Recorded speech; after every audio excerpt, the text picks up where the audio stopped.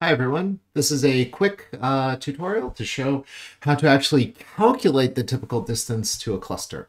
I'm going to demonstrate this on uh, some glue data on the Hyades cluster, even though your homework asks you to do the Praesepe cluster. Your, uh, yeah, just so that you can get the same answer, uh, use the same method, but uh, different results. So I'm going to drop in uh, the Hyades data. And I last time what we did was we calculated a histogram of uh, the parallaxes. We found the parallax for, in this case, the Hyades, and it had a nice distribution. And I'd look and I would say, this is about uh, a parallax of 21 milliarc seconds. And so from that, I could figure out this would be what, 50-ish parsecs away or something like that. Uh, so uh, what I actually want to do is teach you a little bit something new, which is how to do a actual calculation since all of these things belong to the cluster. Uh, and the way we're going to do it is up here, and it's fallen off my screen, but you might have a little button. I have something called a terminal. And so I can do with the terminal is pop it up. And this is some garbage that I was doing earlier.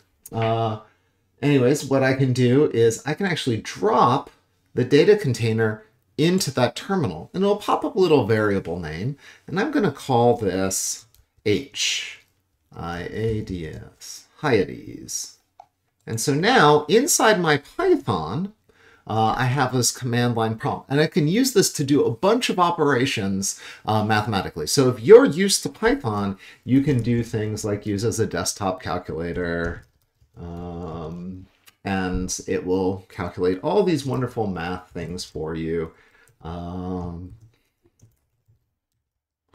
and so we can get all of these uh, great calculations. And in particular, I have now, because I dropped it and I named it, I have a variable called Hyades.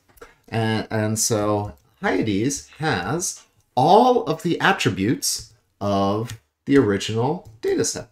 And so if I drop in, oh, let me just look at the histogram to illustrate all the variables we have. All of these belong to Hyades, the variable.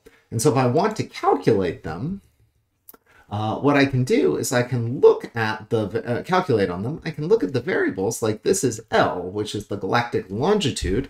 And if I hit return, type it and just hit return, it spits out the galactic longitude of everything in the Hyades. Uh, what I actually care about is the parallax. So I say Hyades parallax.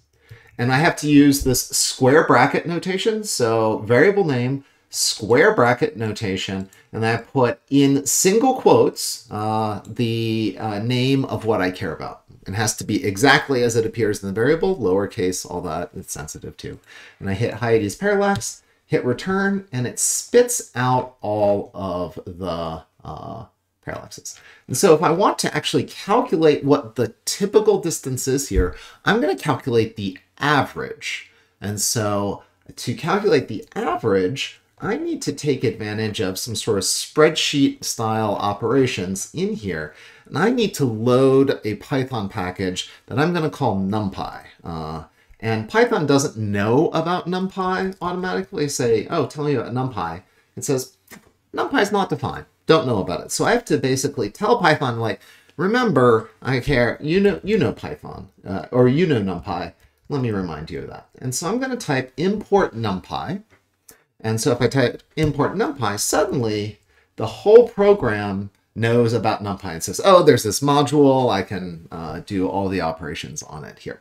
But I almost always do the following. Uh, just to make my code a little cleaner, I say import NumPy as NP. And then NP represents NumPy. And so anytime I see NP and then I'll use a dot something, that's a NumPy operation or a NumPy function.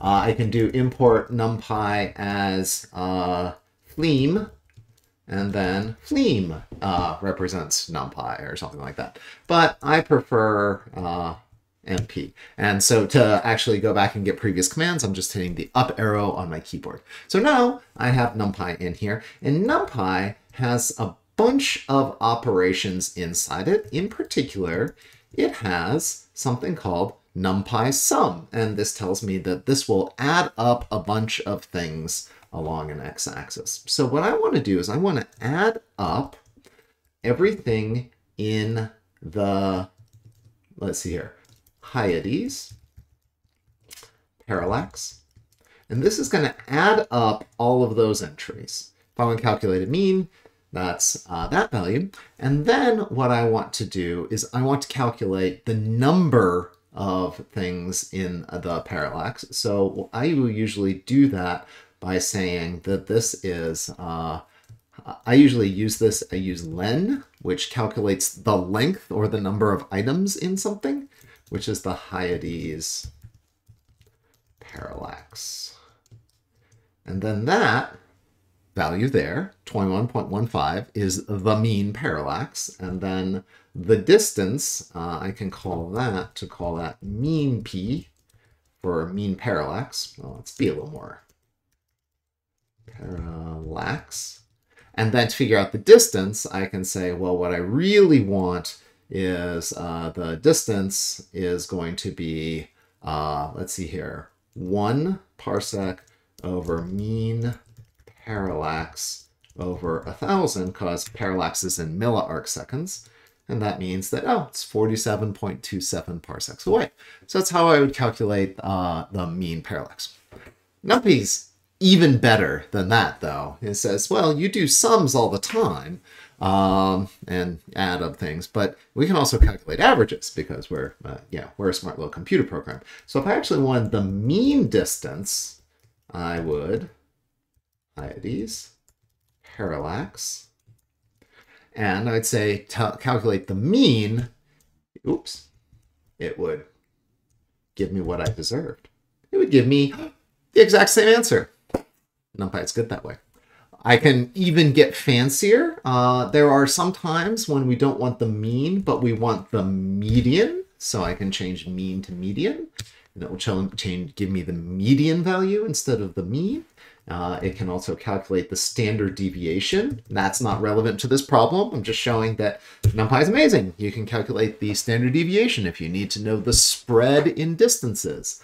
Uh, np.min will tell me the smallest parallax in there np.max will tell me the max parallax in there. So we have all of these operations inside NumPy that allow me to uh, do a bunch of operations on the set of numbers. Remember that this whole Hyades bracket, square bracket, parallax, close square bracket is just an array of numbers. And it is, how long is it? It is a 515 element long list of numbers, and my computer is just really good at calculating numbers. So uh, that's how you can use this to actually do a full calculation on this rather than just estimating something from uh, the parallax. All right, uh, good luck on your homework.